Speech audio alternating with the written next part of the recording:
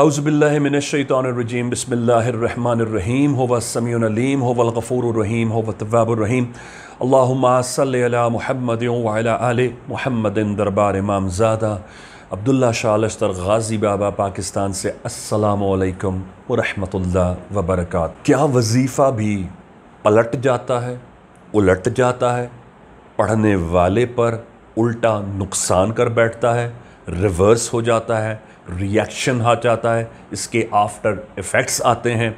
जी हाँ वो वज़ाइफ, वो औराद जो पढ़े जाएँ और पढ़ने के बाद उनकी प्रॉपर न्याज ना की जाए, या फिर उनको पढ़ने के बाद इनका पढ़ने वाला, इनकी पढ़ने वाली कोई गुनाह कबीरा अगर सरंजाम दे तो वही वजीफ़ा उस पढ़ने वाली, उस पढ़ने वाले पर उलट जाता है। क्या होता है? उलटने के नुकसान? पागल हो जाते हैं, सर खुजाने लगते हैं, नाखूनों से नोचने लगते हैं अपने आप को बहकी बहकी बातें करने लगते हैं, बच्चों जैसे हो जाते हैं अड़तीस, चालीस, पैंतालीस साल की मर्द और औरत होगी और बच्चों जैसी खेलने वाली हरकतें करेंगे। उनका माइंड फ्रेम फिर छोटे बच्चे जैसा हो जाता है। या इतनी जानवरों जैसी हरकत करेंगे कि घुटनों के बल चलने लगेंगे। लोग इसको फिर मिसकंक्लूड करने लगते हैं कि कहीं जन आ गया है। हर चीज़ जन्नात में कंक्लूड नहीं करनी चाहिए या हर चीज़ को सफल जादू नहीं करना चाहिए।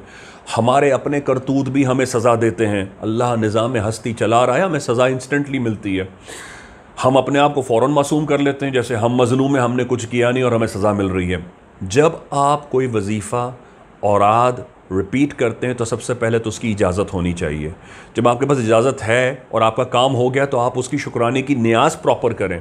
साहिब न्याज साहिब दरबार, बुज़ुर्ग आपके शहर की हस्ती के जो सबसे बड़ी मरकज़ी दरबार हो, वहाँ जाकर उनके वसीले से, क्योंकि उनका वसीला आपको अर्श पर बेहतर तौर पर आपकी दुआ रदा को पहुँचाएगा।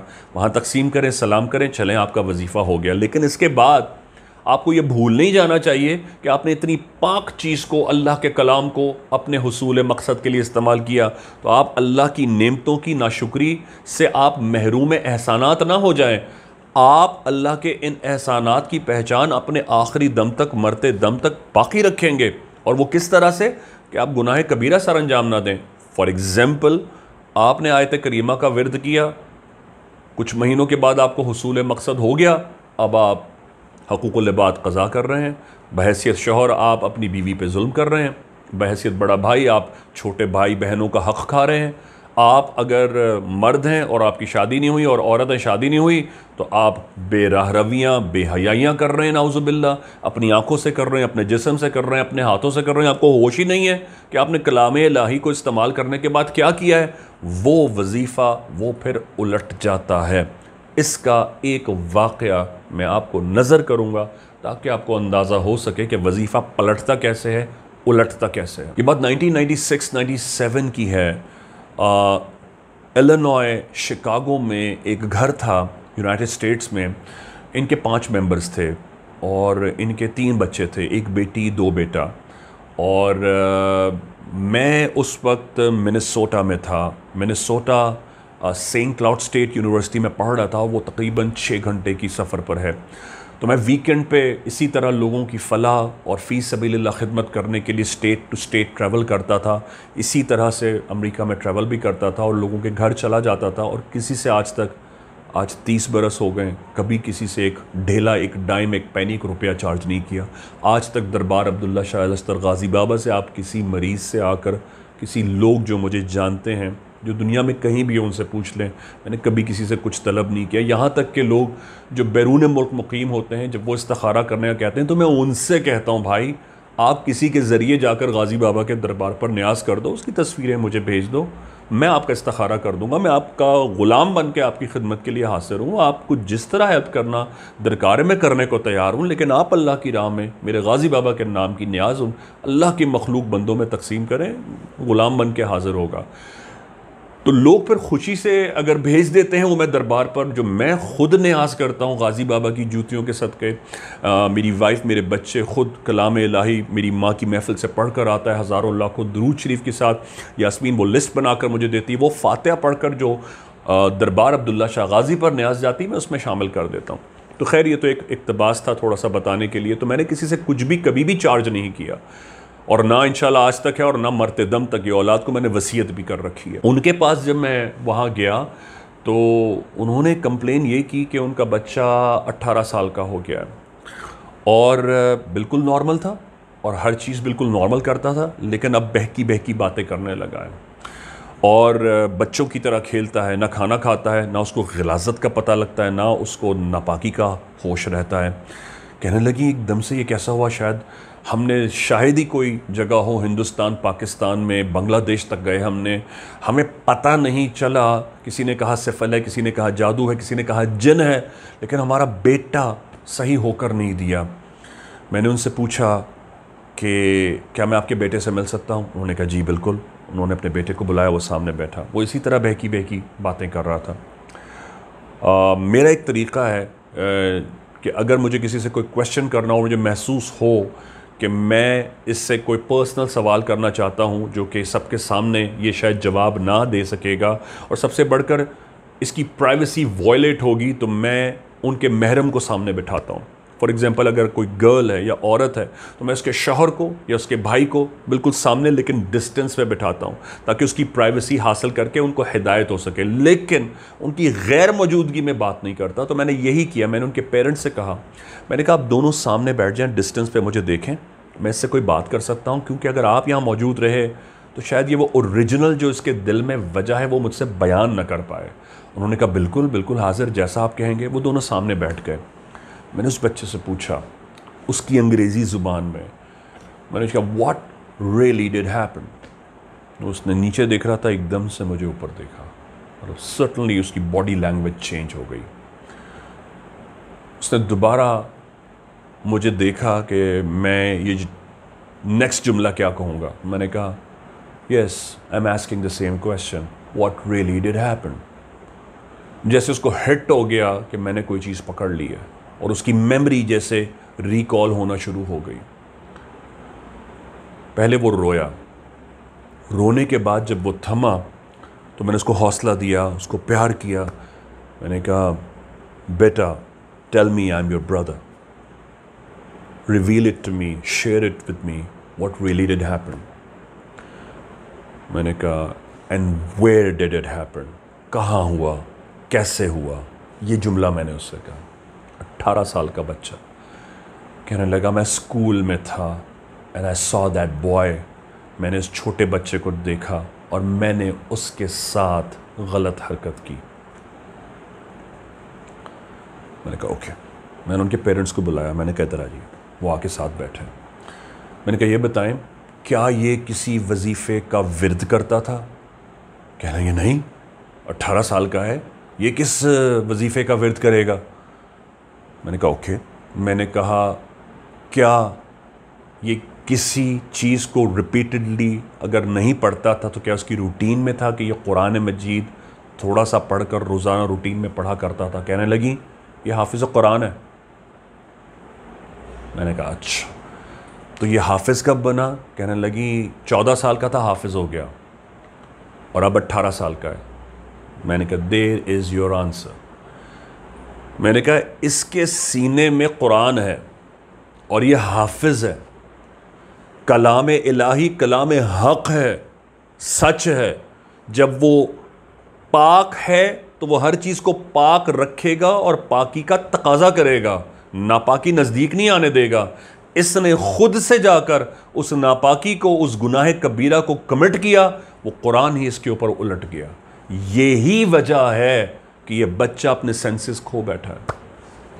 कुरान इस तरह उलट जाता है, वजीफ़ा इस तरह उलट जाता है।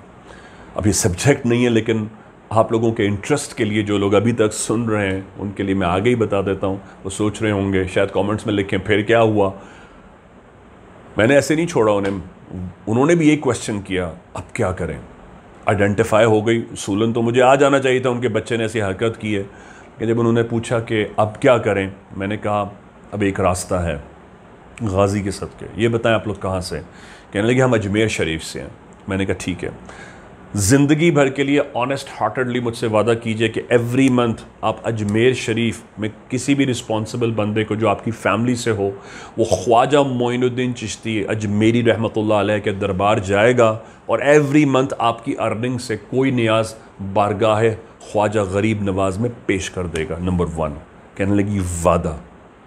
मैंने कहा, दूसरी बात.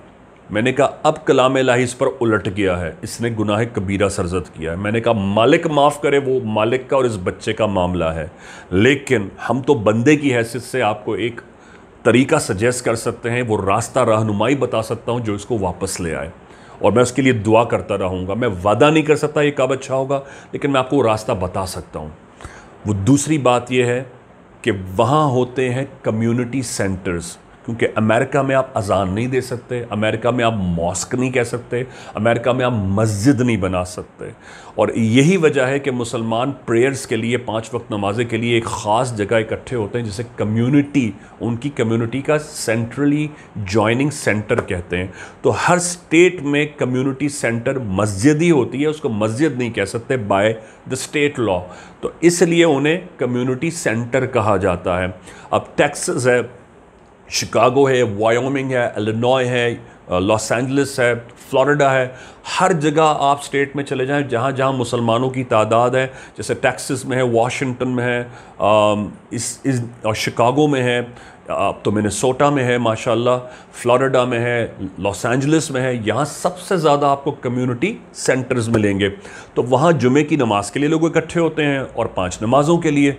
उन्हें कम्युनिटी सेंटर कहते हैं। वहाँ की रिस्पॉन्सिबिलिटी एक इमाम की ज़िम्मेदारी होती है, वो वहाँ जाकर नमाज़ पढ़ाता है। इसी तरह इमाम बारगाहें भी होती हैं, उनको भी कम्युनिटी सेंटर कहते हैं। इमाम बारगाह वहाँ भी नहीं कह सकते।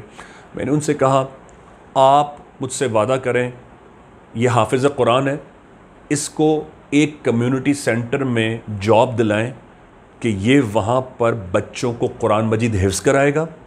और वहाँ सारी पाँच नमाजें, फजर, जोहर, असर, मगरब और इशा के साथ पढ़ाने की ज़िम्मेदारी लेगा। उन्होंने दो सेकंड के लिए सोचा और कहा, हमें मंजूर है।